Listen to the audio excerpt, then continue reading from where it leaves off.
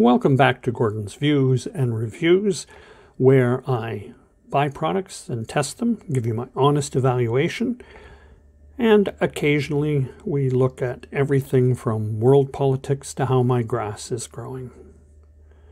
In this video, I want to talk about the events in Washington, D.C. on January 6th, 2021. Donald Trump has stated on more than one occasion that he is a stable genius.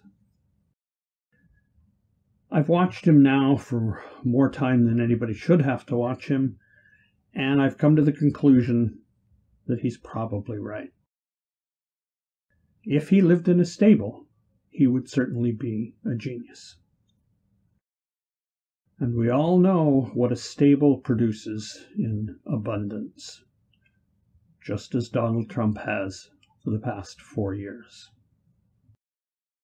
Since the November 3rd election, Trump has insisted that there was an unprecedented fraud. He's correct. He's the one who's been perpetrating the fraud.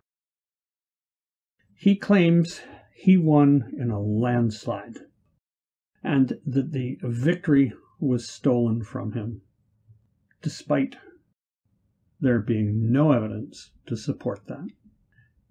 And of course, the fraud only happened in states that he lost and only happened on the presidential vote where Republicans won on the same ballot. It would take a genius to explain how that works. Yesterday, Don Jr and Rudy Giuliani were the opening act for Donald. They both called for the violent overthrow of the democratically elected government of the United States. When Donald spoke, he urged his supporters to march on the Capitol and demand that the Republicans in the House and the Senate overturn the results of the election. Why have these three treasonous clowns not been arrested? When he spoke in the late afternoon, President elect Biden called the riot an act of sedition. In speeches in both the House and the Senate later in the day, many also called Trump's participation sedition. Some have talked of impeachment, and some of invoking the 25th Amendment. So I ask again why is this person still not being held to account? This is the real fear after four years of this stable hand that he and his band of criminals will not be held accountable.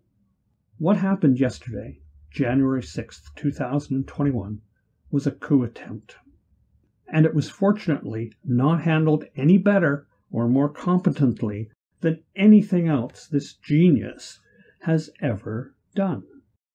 So far, the only thing he's been able to do well is convince millions of not so deep thinking or critical thinking people that the product of his stable smells like roses.